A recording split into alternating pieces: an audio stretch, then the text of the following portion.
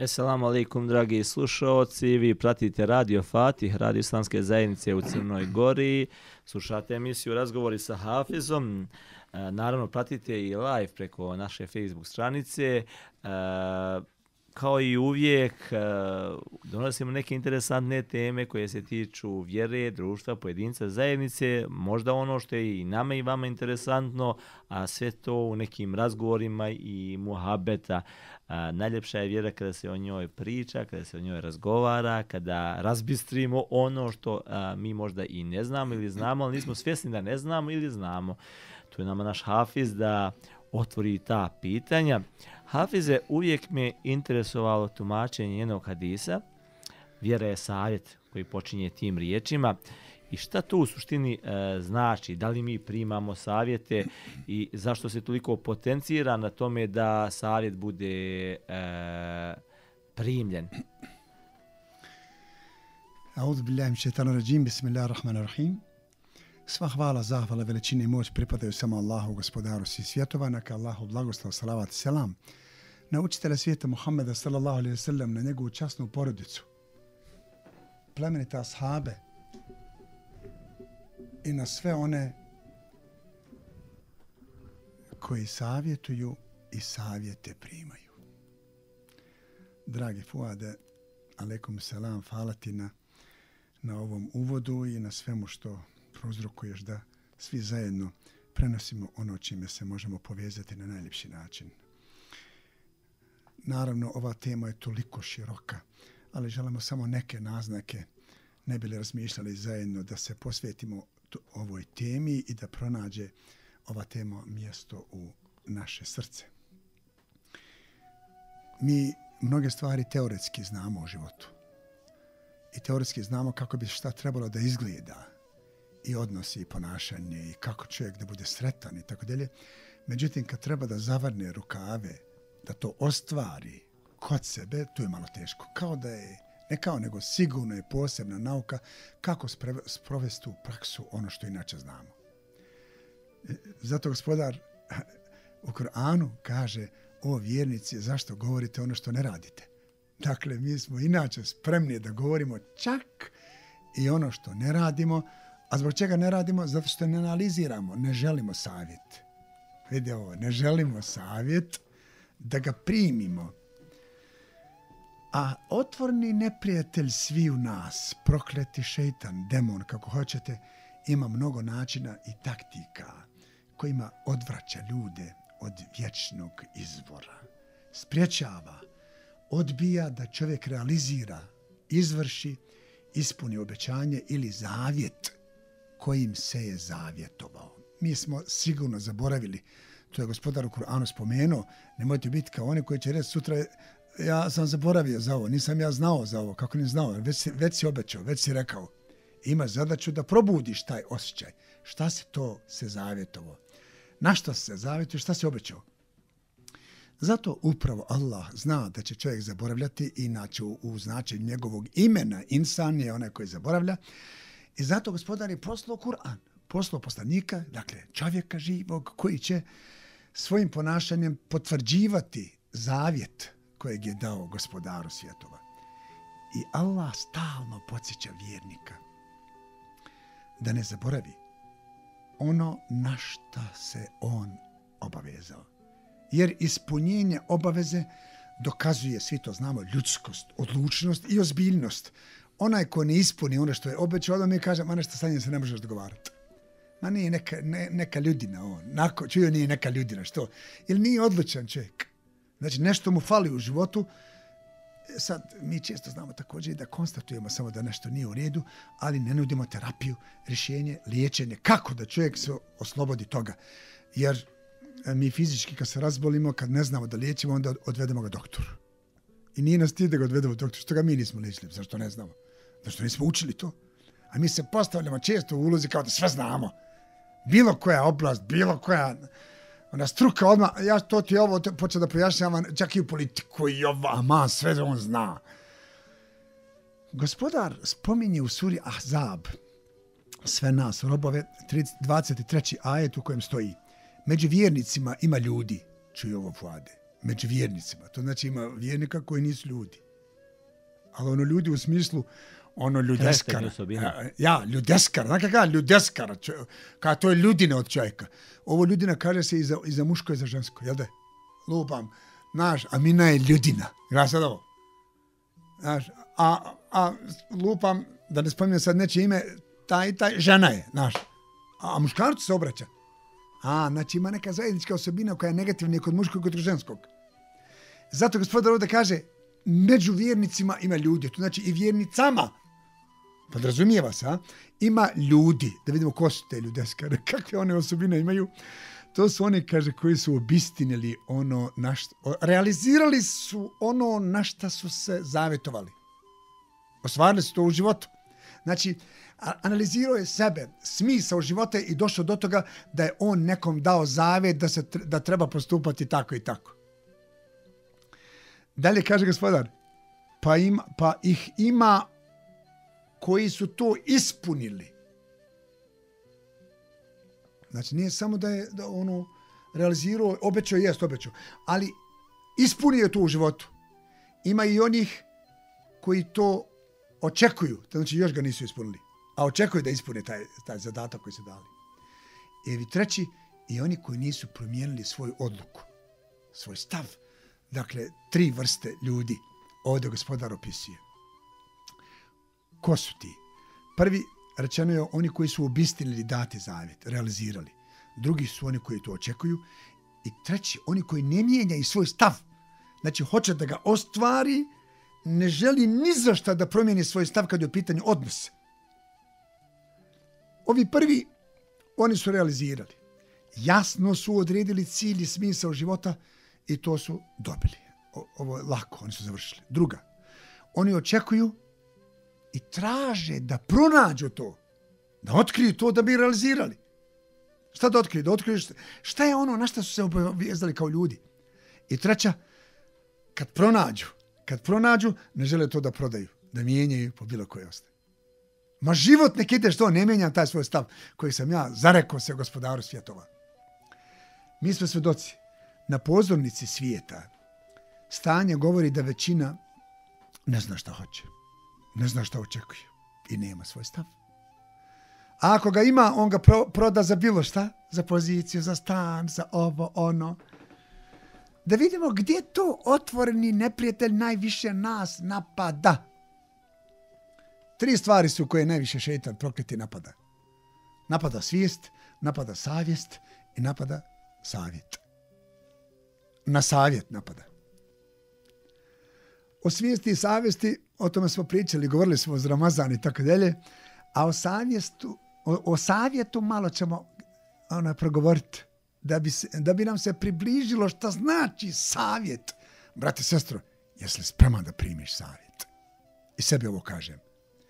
Ako šeitan nije uspio prokleti da nam zamuti svijest, da smanji glas savjesti u nama, onda on danonočno radi da nađe šuplinu put kojim će doći do tvog srca, da zauzmeš takav stav da ne primaš savjet ni od koga i reći ti znaš, nema potrebe tebi savjet. Pazi, gospodar, Boži postani kaže, gospodar kada želi dobro robu svom vođi, on mu dadne dobrog savjetnika. Gle ovo, izgleda da savjetnici nisu dobri, zato nam je stanje ovako u svijetu. E, ovo je garant. Izgleda da prokleti našoj rupu kako će doći do nas i da dovedemo sebe u takvu stvari da ne primamo savjet. Čak smatramo da nismo dovoljno spremni ako neka treba nama savjet da ne. Čuj da on tebi da savjet, ti znaš vam bolje od njega. Još imaš iskustvo dugogodišnjega rada. Još mu kada ti ne razumiješ što stvari, ja sam dugo godine ovdje radio bio. Mislim, znaš ti kako je bilo prije teško. Pa znam da je bilo teško. Sad, sad on to navodi prošlost kako je bila, samo da ne primi sad savjet da bi se promijenio izgleda na ovu rupu, da slobodno tako se izrazim, na ovu rupu šetan izglašo, izgleda našo svoj obrok. Koji umišljenost, isključivost i konzervativnost, oni su, ove tri osobine su prisutne, ove tri bolesti su prisutne, dakle, u poz, na pozornici svijeta. A, a znate li inače koje se poslovice drže? Ti koji imaju ove tri bolesti. Pametnom ne treba savjet. A budala svakako neće. Čiji ovo ne pamete, njemu ne treba savjet. A kako to, brate, začkaj? Boži poslanik pa pita sahabe šta velite. Hoćemo li raditi, ima, imate li kakav prijedlog da, da, da, da nešto zajedno riješimo, kako ćemo ovaj problem riješiti? Poslanik je mogao reći, ja dobijem objavu šta ste vi reći, evo, završeno, ja znam kako je i ko to. Mene se svidila jedna reklama koja se ovako često vrtila ona, u, u medijama. Kaže, dobro je biti pametan, ali je pametnije biti dobar. Šta ti vridi pamet čovječ, ako nisi dobar kao čovjek? Ma nisi ni poroci kao čovjek dobar čovječ, a kamo, a kamo zajednici? Dragi brate, sestro, plemenita dušo, nema sigurno dogovora, sporazuma, mira i napretka upravo bez iskrenog savjetovanja. Nije džaba Boži poslanik upravo rekao ovaj hadis koji ti postavio pitanje, dragi Fuade, vjera je savjet. I to je interesantno ponovio tri puta, nije džaba.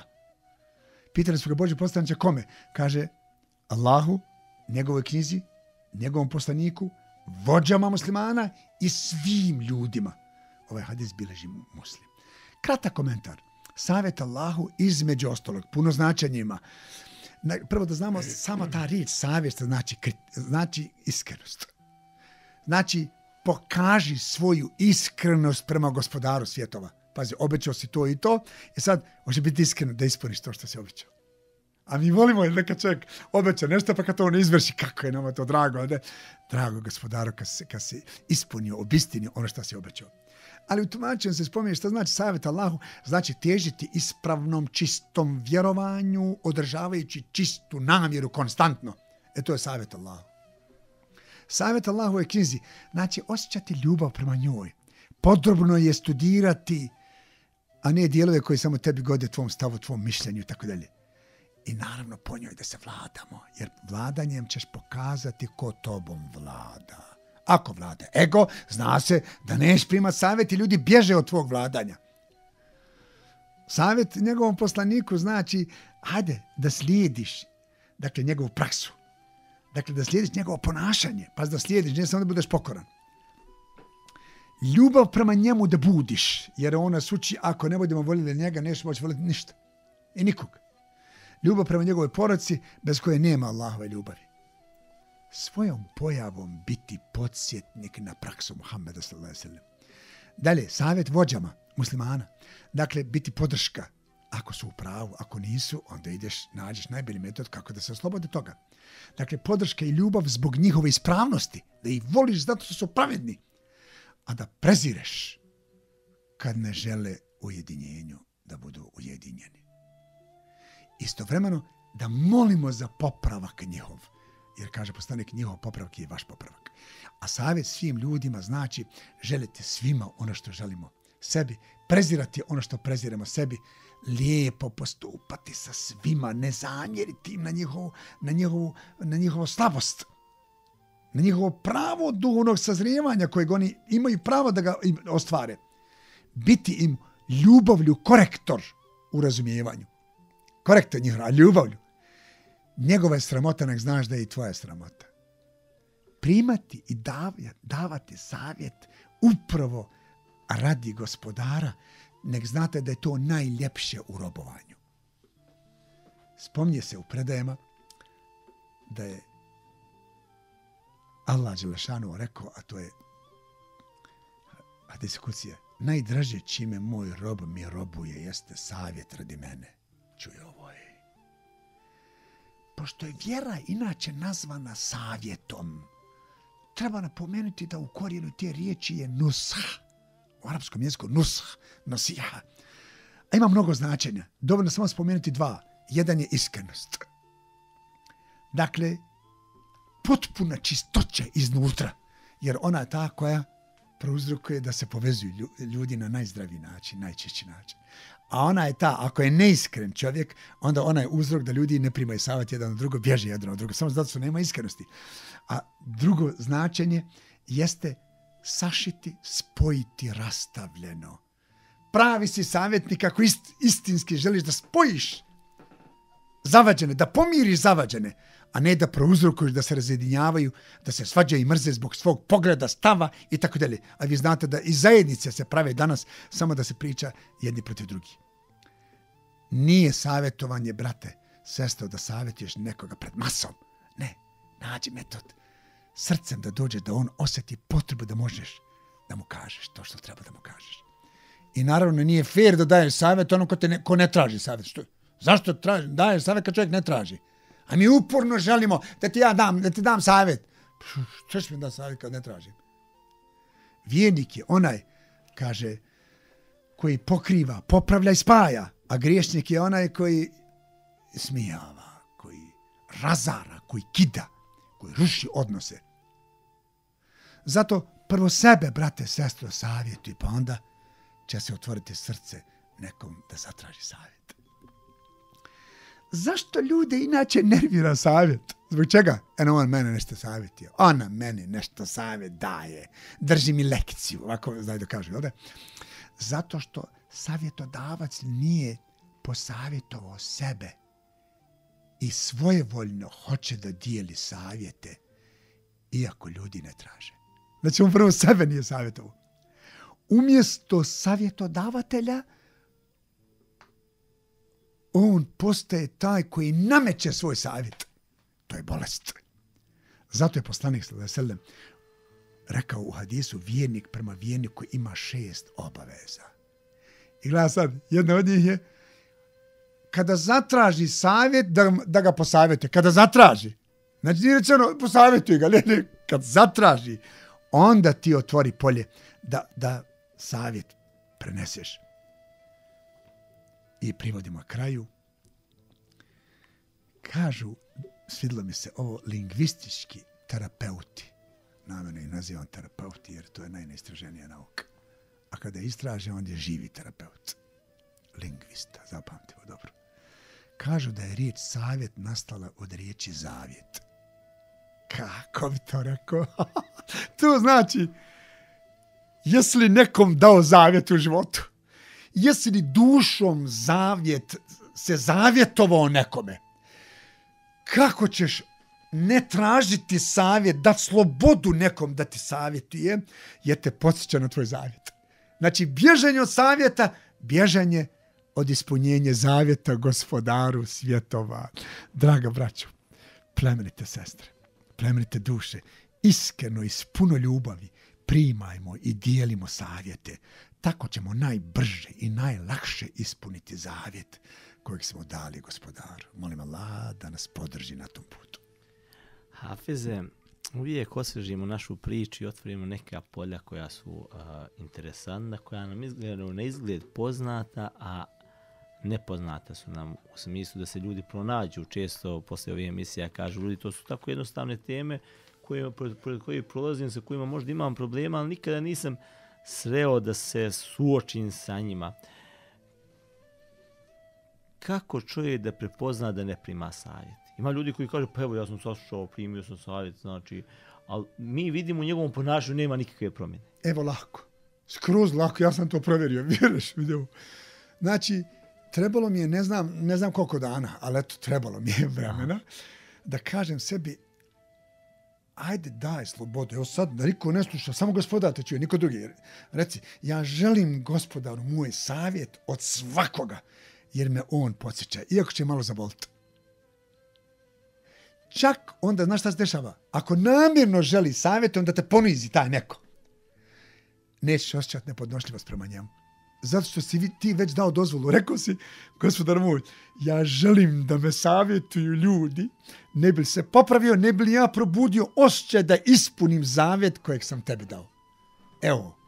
I onda vidiš kako boli. Boli pravo. Čak i znamo ja namjer što ono da kaže, ali ne ulazim duboko. Ne, što mi briga namer nego, ovdje sam ja bitan. Jer ja sam bitan da se ja popravim. Kad se ja popravim, onda će i on koji je namjerno sad bolešću svojom, želi da te, da te savjetom ponizi, a ne sam da ti dao savjet. Da ti kaže da trebaš neke stvari promijeniti. Gledajte ovo, nema veze, jo, svejedno. Kogod te savjetuje, ti ostaje vrata otvorna. Reci, hvala ti najljepša. Nemoj da kažeš samo jezikom hvala ti najljepša, a vam je da čekaš da, da, mu, da mu šukneš, znaš, da ga poniziš, tako da ne. Nego iskreno što jer si dao zavjet Allahu, da želiš da primaš savjet. E onda, onaj ko ne prima savjet, zapamti, on, on nema šanse da može da popravlja stanje u zajednici. Zato Allah rekao, nemojte slušati, slijediti one, one koji pretjeruju. Dobro sam, jer ne znaš, ne znam mi u čemu pretjerujemo. Evo sve znate osobine. Ko su ti? Oni koji siju nered među ljudima. zavadu, svađu, nepodnošljivost. Da neko neće reći, ja sijem nered. Ali ajmo dalje, oni koji ne popravljaju stanje čim uživaš da pričaš o negativnostima, a ne želiš da popravljaš, nek znaš da si onaj koji ne prima savjete i onaj koji sije razdor svjesno ili nesvjesno u društvu. Hafiz, danas smo kazali da ćemo malo kraće našu emisiju održati zbog nekih e, preuzetih obaveza. E, zahvaljujemo se dragim slušalcima. Vi ste pratili Radio Fatih, Radio Islamske zajednice u Crnoj Gori. Slušali ste emisiju Razgovori sa Hafizom. Hafize, ne znam da li imate dovoljno vremena, obično mi e, završavamo se ilahom, ali eto, danas ćemo zbog svega što smo ranije planirali, e, to odgojiti za naredni put, pa eto, dugoćemo dvije ilahe za naredni put, a da neka bude eto, to neko naše obećanje za narodnu emisiju. Do narodnog slušanja srdačno vas selamimo, ostanite uz Radio Fati, Radio Islamske zajednice u Crnoj Gori, Gori i pratite emisiju Razgovori sa Hafizom. Reprizu ove emisije možete pratiti sutra u jutarnjem programu od 9 do 10 časova. Hvala ti Fuada i hvala slušalcima i slušateljkama i molim Allaha da nas savjet, da, da, da nas savjet poveže iskreni, istinski kako bi poboljšali